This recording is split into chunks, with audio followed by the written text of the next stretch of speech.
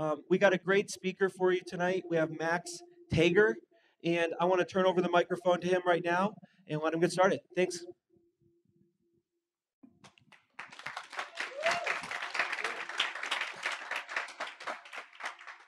Uh, hey guys, I'm Max Tagher. Uh, this is my talk calling Objective-C at runtime. Uh, so the first thing I want to jump into is why call Objective-C at runtime. Um, well, in general, I don't really think you should. Uh, it's not very good for performance to be calling stuff at runtime, and uh, you also lose some static typing benefits when you do that. Uh, but sometimes it's really useful or even essential to solve a problem. Uh, and I want to talk about a situation where it was really important for me uh, to have this available in Objective-C. So I work at a startup called HeyZap. Uh, I worked there about three years. Uh, about two years ago, we started up being an ad network. So we were one of many SDKs that game developers integrated to show ads in their app. And if you're not familiar with the space, they show uh, maybe ads from seven different ad networks. They have a whole lot of them to maximize their fill rate. Um, so what we eventually developed was this thing called ad network mediation, where we became the one SDK they used, and uh, we just communicated with all of these other different SDKs at runtime. So out of maybe the 12 or so that they wanted to use, we support all of them, but they're only using a subset, about three of them or so. Uh, and this ends up creating some interesting constraints that we have to do in our programming. Uh, notably, when we're in this situation, we can't statically reference the SDKs that we're targeting against. Um, if I was to use the Vungle SDK, normally you use code like Vungle SDK play ad to show an ad. Uh, but if we include that code in our SDK, then it creates a compile time dependency uh, on having Vungle SDK as a symbol in the final app the developer makes. Uh, so basically, that's unacceptable. So as a way to work around that, we load up all of these third-party SDKs at runtime, and that's how we interact with them. Um, I don't have too many other use cases that I can think of for all of this runtime programming that I'm specifically going to talk about, but there are definitely a lot of offshoots. I saw someone on Stack Overflow asking about if uh, someone else's SDK was present and their SDK could somehow optionally interact with it and they didn't specify exactly what they're going to do, um, but I speculate that maybe if an exception tracker was present, then maybe if your SDK catches an exception, then you could track it. Uh, or if an analytics SDK is present, then maybe your SDK could track analytics somehow without depending upon an exception tracker being there. Um, other things you could do are uh, you could use some iOS 10 features without having compile time dependency on them before iOS 10 is actually out, maybe. Um, or you can interact with Apple's private APIs.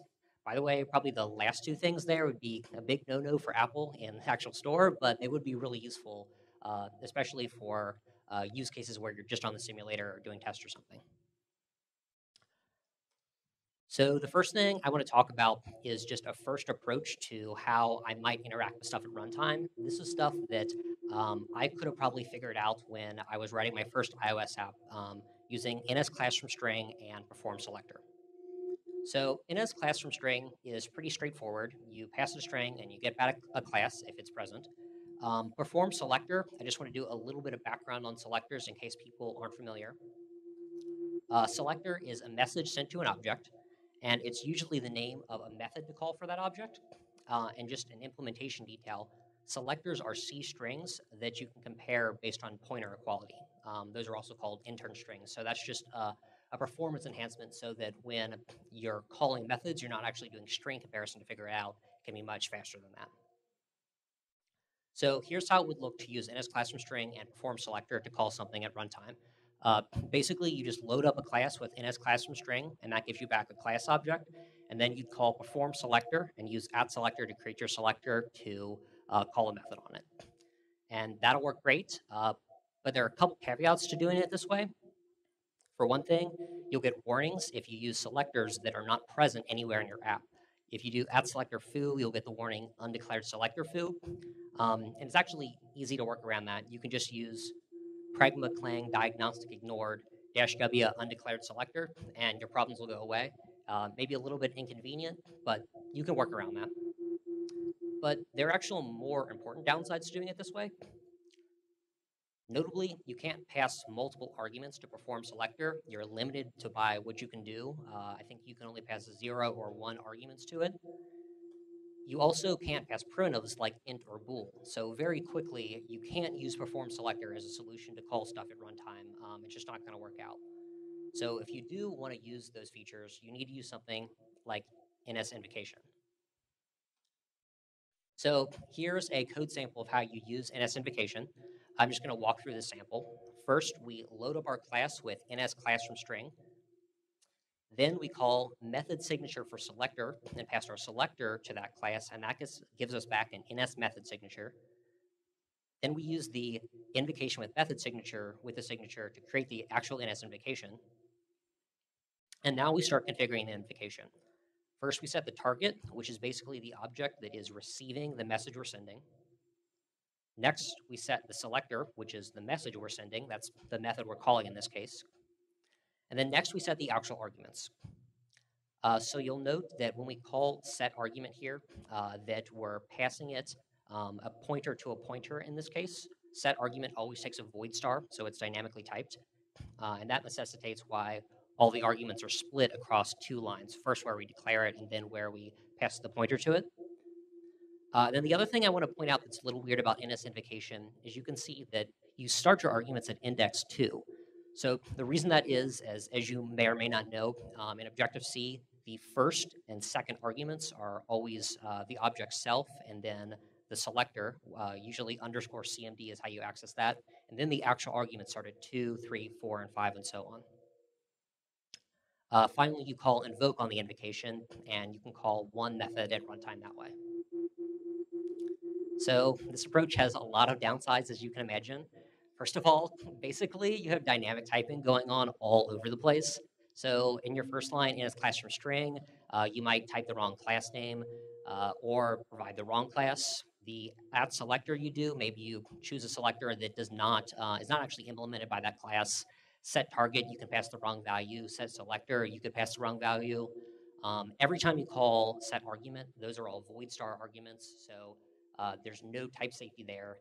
All, all the time you've got at index going on. If you pass the wrong index value, um, which is really easy to do if you're moving around arguments, then uh, you've also maybe crashed your app. And even the get return value uh, is also using void star. So really, this is not a great solution uh, for someone who really likes static typing as much as myself. Also, this code is really ugly. Um, call me shallow, but I don't want to write code like it was on the previous slide. It's just really unacceptable for code to be that way. Uh, and it was really long. It took 17 lines, not including all the extra white space I had to add, to use NS invocation like that.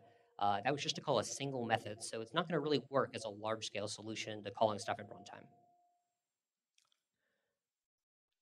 So this next approach I want to talk about uh, is much, much better. It resolves many of the issues with using NS invocation.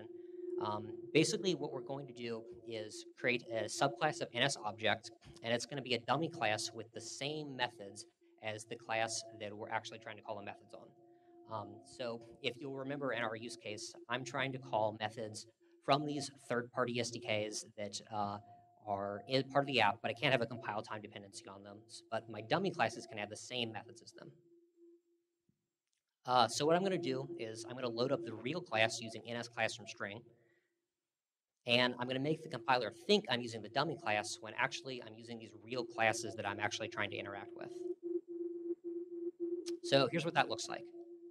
Uh, in the app interface, it's really simple. We just subclass ns object, and then I've named my class hz add colony, uh, because the real class that I'm trying to interact with is AdColony.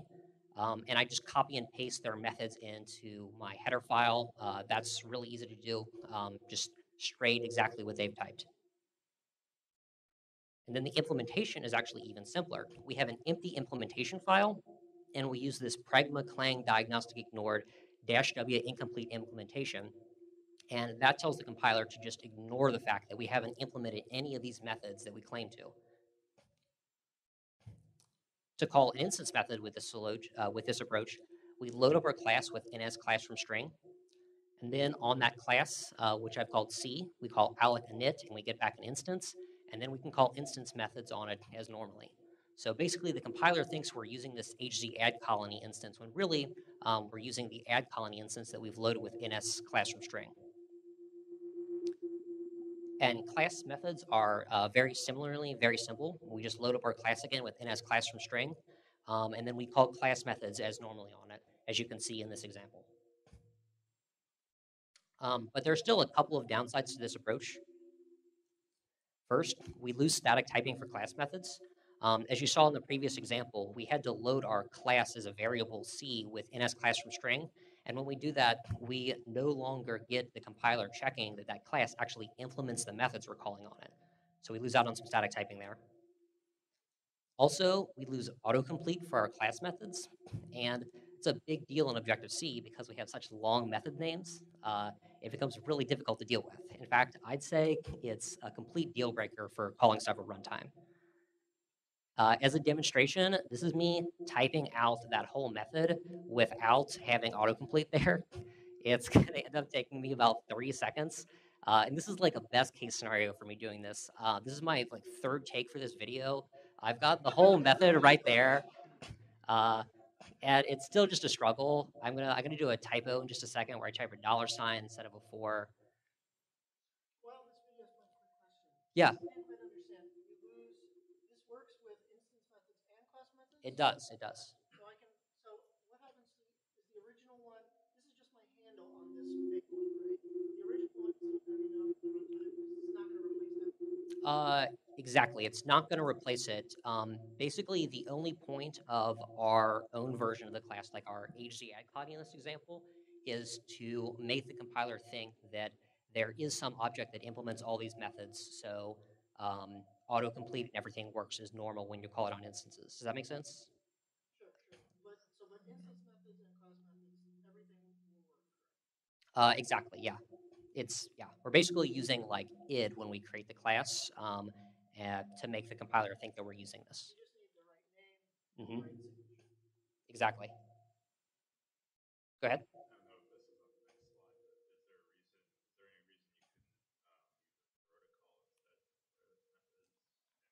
Um, so you could do the same thing. Uh, I don't think there'd be any limitations to using a protocol. Think about it. Yeah, you. Let's see here.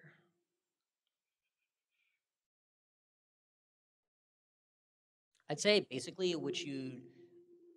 I think it should work. Um,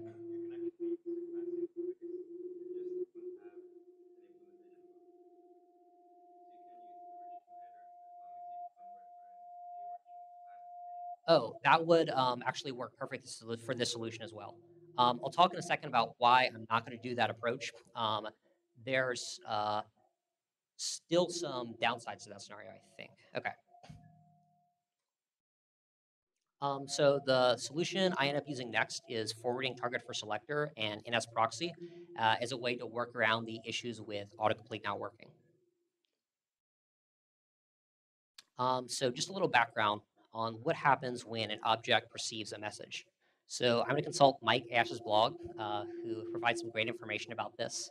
If you have code like object foo and pass hello to it, and you get back an int as a result, basically what the compiler makes that into is uh, this objc message send function call, and you can see that the first argument passed there is the object, and then the selector, as we talked about talked about before, those being the hidden first and second arguments, um, and then hello uh, as the actual argument.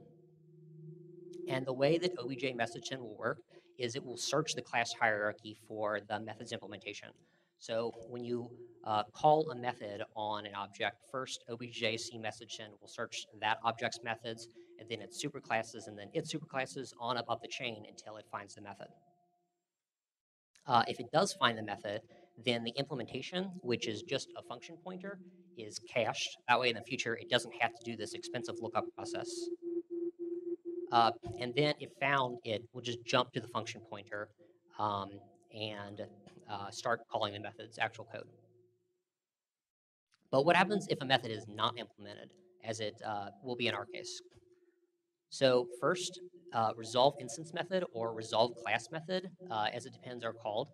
Um, though what these methods are used for is allowing the object a way to add the actual implementation to the object when they're called. Um, it's known as lazy method resolution.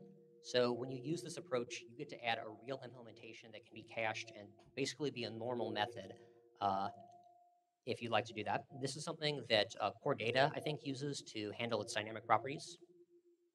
If that's not called, then forwarding target for selector uh, is the next thing called. Uh, this basically passes your object to selector, and you can return another object.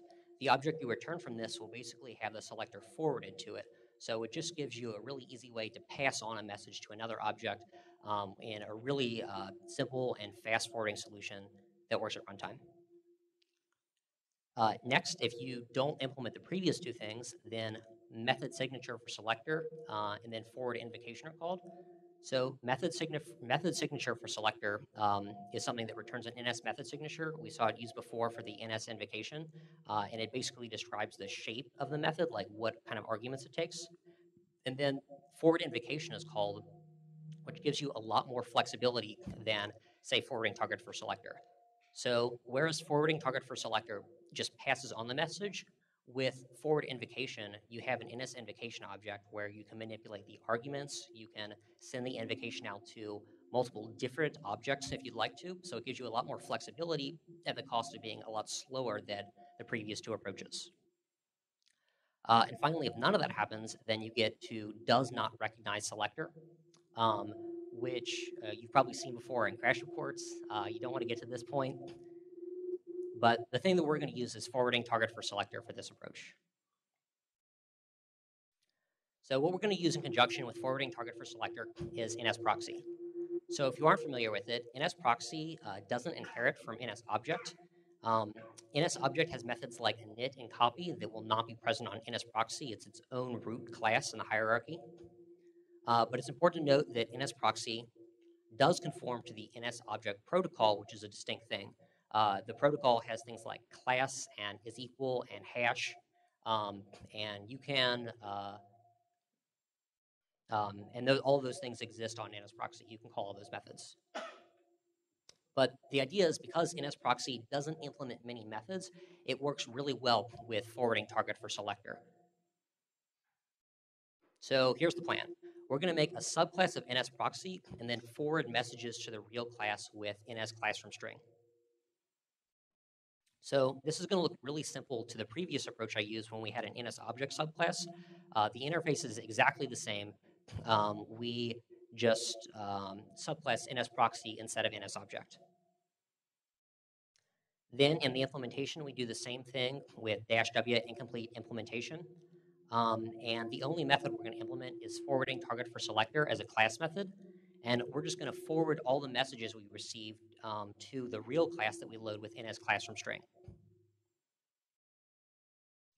And then when we call class methods, they look a lot more like normal Objective-C. Um, we do hz AdColony in this case, and we can type out the regular method name uh, without um, making the code look any different. This looks exactly the same as calling the real code, except for that hz prefix. Uh, and as you can see, this way is a lot easier. this time, it takes me about eight seconds, and I have autocomplete. It's really easy to work through this method. So trust me, it's totally worth it, guys. Try typing without autocomplete in Xcode. It's a real nightmare. So the benefits we get from this approach are we get static typing, and we get really readable code, and we get autocomplete. Uh, those are all really great things to have.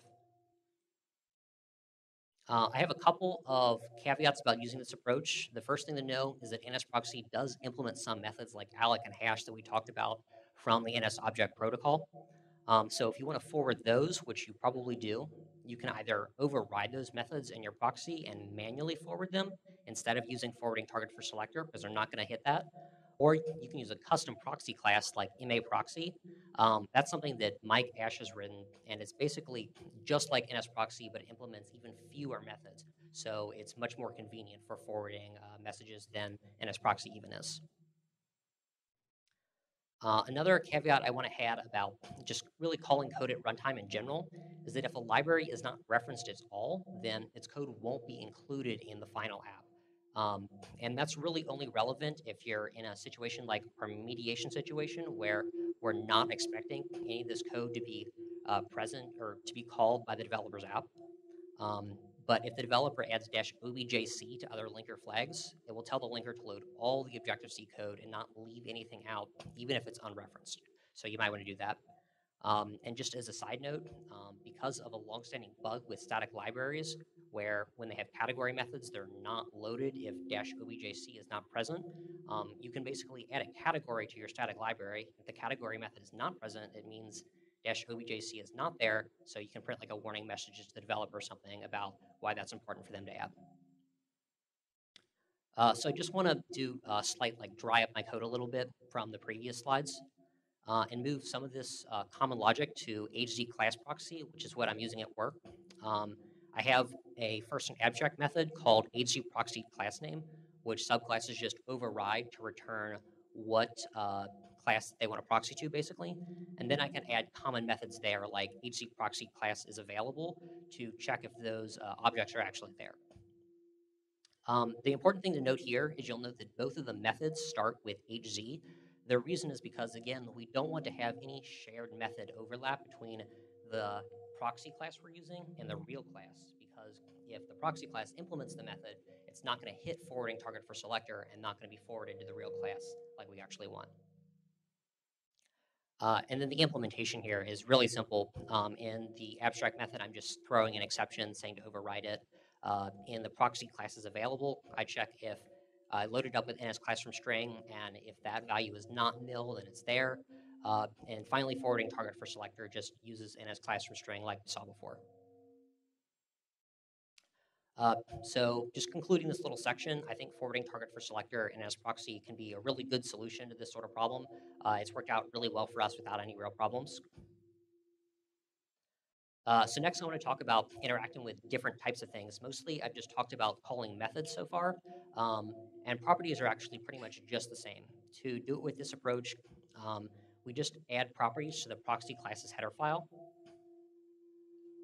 uh, and it looks just like our methods.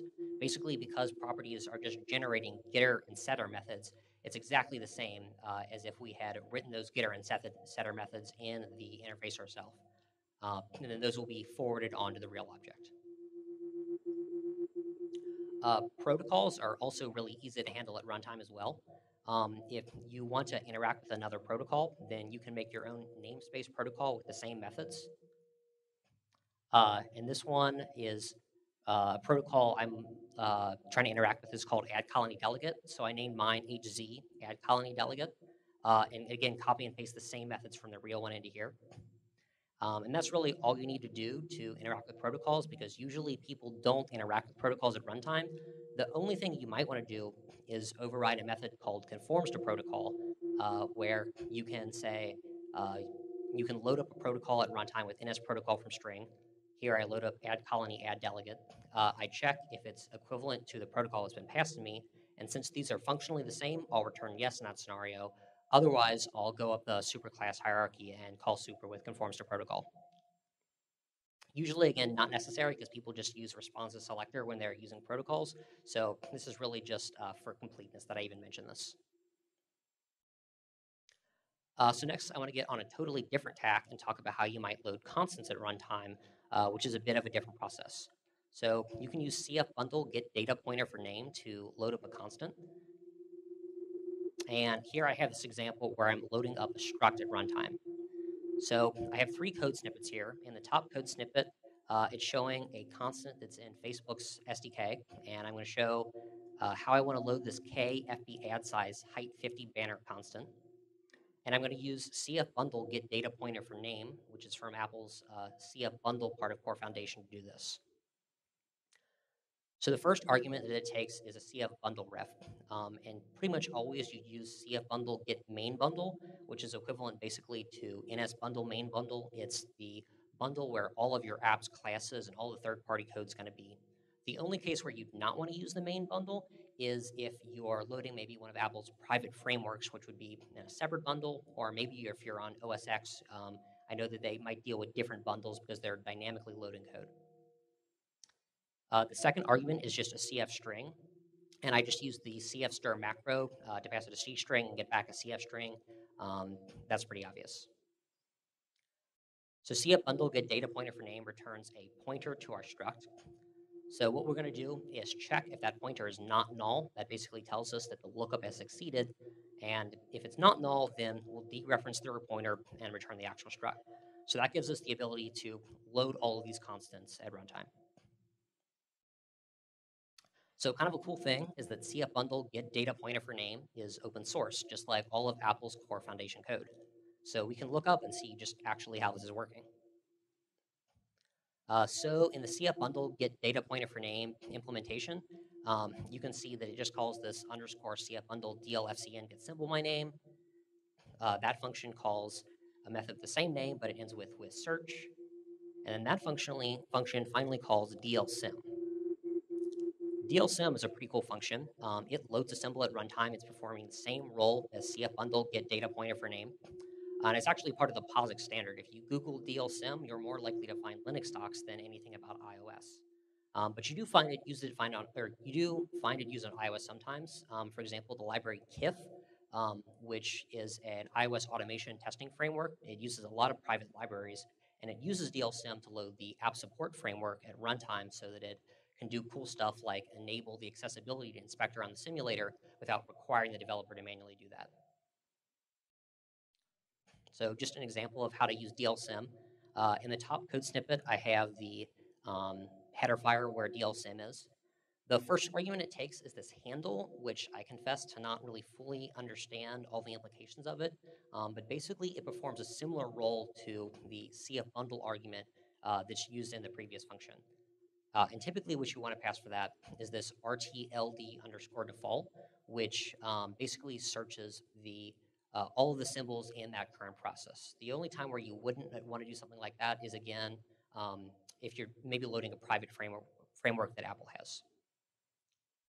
So DLSym, just like see a bundle, get data pointer for name, returns a pointer to our struct. We check if the pointer is non-null, and if so, we returned it, and we've looked up this C constant. Uh, and you can also use it to look up Objective-C values like in a string. Um, it's really flexible like that. So I have a lot of caveats to using these two functions. Uh, they're like really sort of a nightmare to deal with. First of all, a little background on the default compiler optimization level. Um, at development, it's dash O0, and in release builds, it's dash OS by default.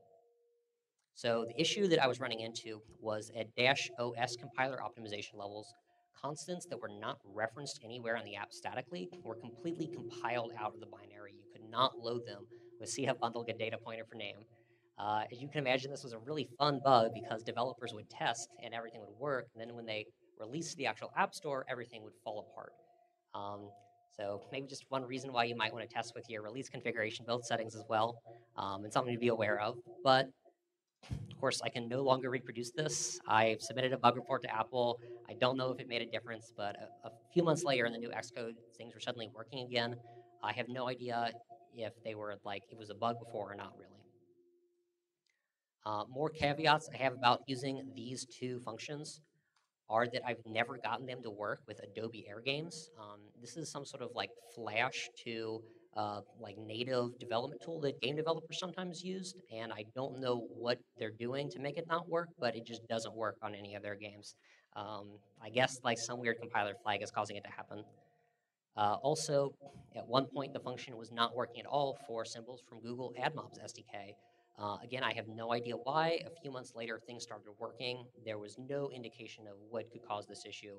Uh, I tried for a long time and had a big Stack Overflow bounty to solve it. Go ahead.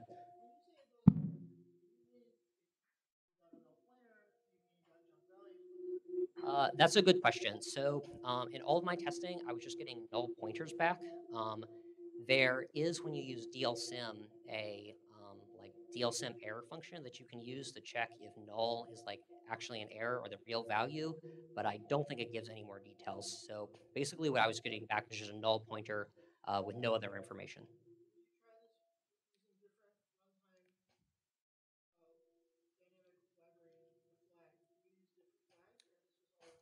Um, so this was using, at the time, just CF bundle get data pointer for name.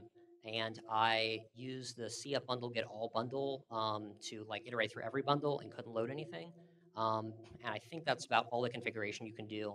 Uh, it would have been good to go back and try DLSym, but uh, eventually Google AdMobs SDK just started working, um, so I didn't have to do that basically. Uh, so my recommendation, if you're using either of these two functions, uh, is to have a fallback to a hard-coded value.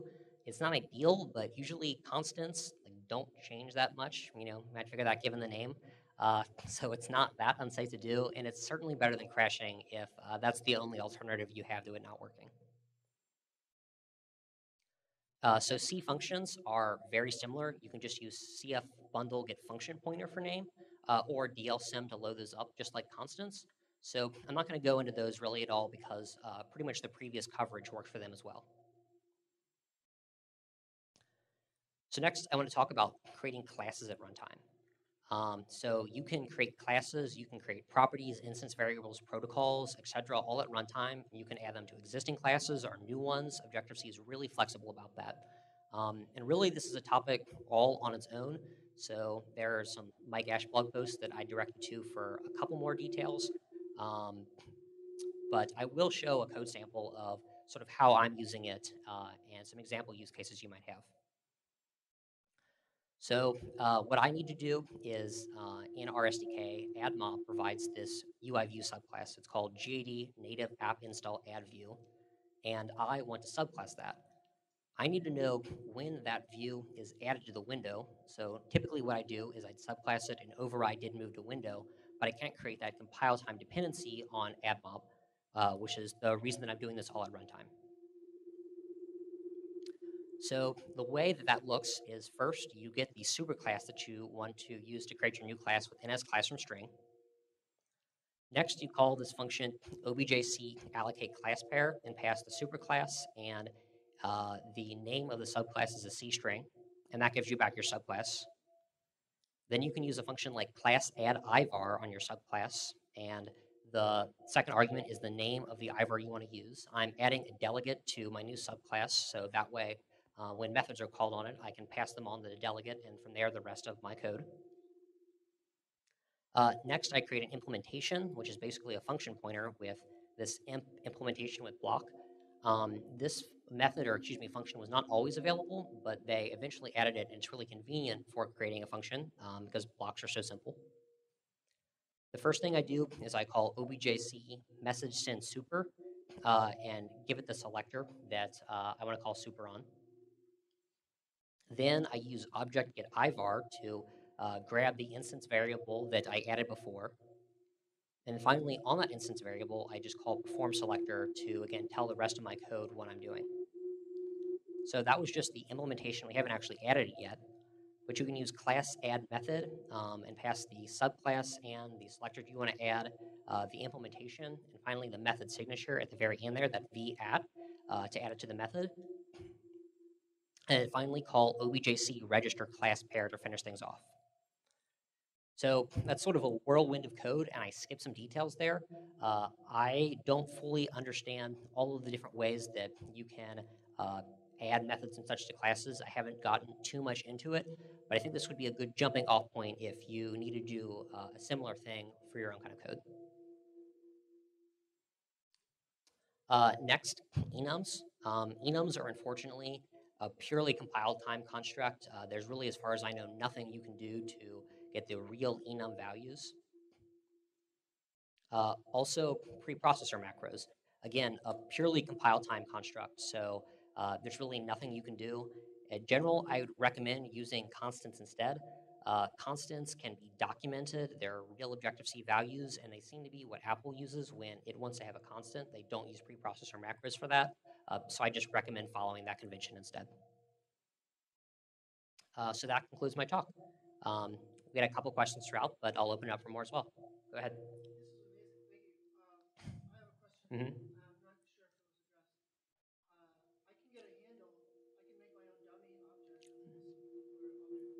amazing. Thank you.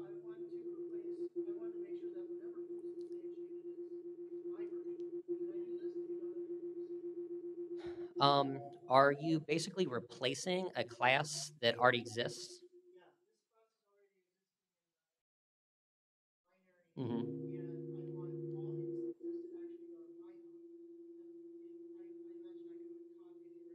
Hmm.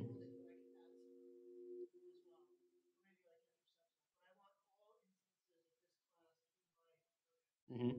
Uh, my gut says that's possible, uh, but I haven't actually done it before. Uh, do, do you like know a solution, or you? That's what you're asking. hmm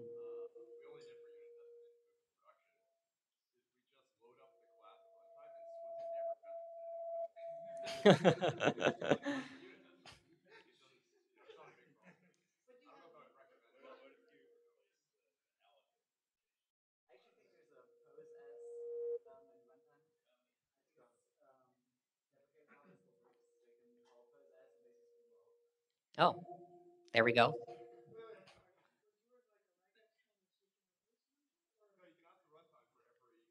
Yeah.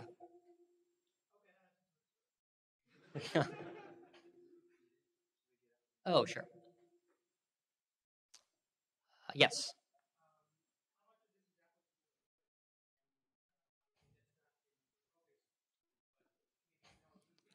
Um, so unfortunately, I know very, very little. Uh, regrettably, game developers, because they use like these external build tools, target back to like iOS 5 and 6. So we target back to iOS 6. Like it'll be years before I can touch any Swift code at work. Um, it's like really sad. Uh, but uh, I think that I think that Swift has like most of these similar features. Uh, I'm not entirely sure because I know that it- part of the design for Swift was that it was going to be more like C++. They were going to reduce some of this dynamism, and that would give them greater runtime performance. Um, that was like one of the original design goals. So I don't know how many compromises they've actually made. Uh, and you will see on some of these functions that you talked about, they have that like uh, Swift unavailable um, like attribute that they added in with Clang. So definitely some of the stuff is not possible, but I don't know all of what is and what is not. Go ahead. Mhm.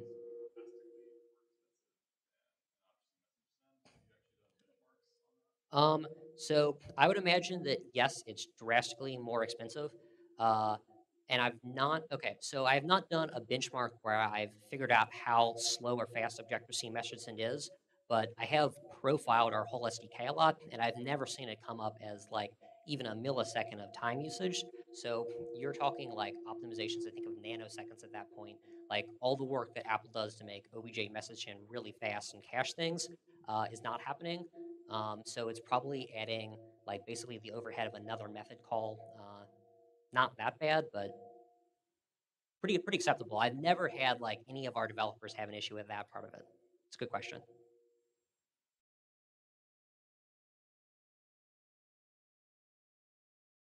Go ahead.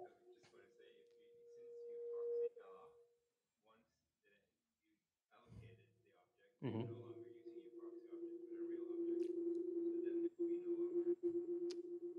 Oh gosh, you're exactly right. Yes, um, that's exactly true.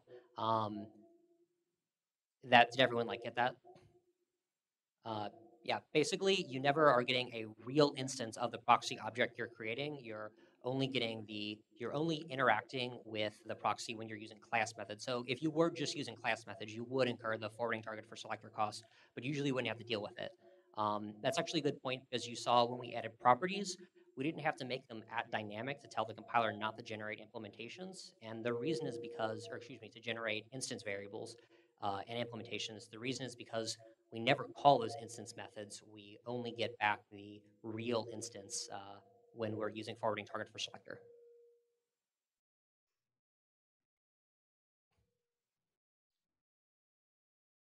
Uh, if there's no other questions. Yeah.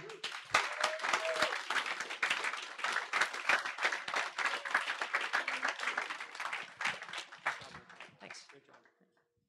All right, guys. Uh, just a few closing announcements here. Um, new new piece of uh, resource for probably not the people here in San Francisco, but uh, we've been recording these talks over the last few months. Finally, so uh, if you're interested, uh, you can watch previous talks from NS Meetup at video.nsmeetup.com. It's just a YouTube channel. We've been uh, recording the last few months. So uh, if you're not in San Francisco, like a lot of people on Twitter complain, uh, now you can catch up with NS Meetup. Uh, what else do I want to tell you guys? Oh, um, we're going to make sure that uh, Max's slides are tweeted out on the NS Meetup uh, account tonight, and then you can get them tomorrow on nsmeetup.com. Uh, next month, we're going to have uh, what I anticipate a high demand talk. Uh, we're going to have Felix Krause from Fastlane Tools speak. Uh, if you guys haven't seen it, it's a really great developer open source library that allows you to automate a lot of the crap with working with iTunes Connect. Uh, and some other great pieces. So if you haven't checked it out, it's on GitHub. It's probably one of the top starred projects. Uh, check it out. It's called Fastlane Tools. I believe they just integrated with Fabric. Uh, but make sure you watch the NS Meetup Twitter handle. Uh, I'm going to announce the meetup, and that way you guys can get in before we hit capacity, because I'm sure we're going to fill the room. So uh, I appreciate you guys coming out tonight. There's plenty of beer, uh, there's plenty of snacks and drinks. So please uh, help yourself, and we're here till 9. And if, uh, oh, one more thing uh, topics and speakers. If you're interested, please come see me. Uh, we're looking for speakers or topics starting for next year. Thanks again, guys. Enjoy. Thank you.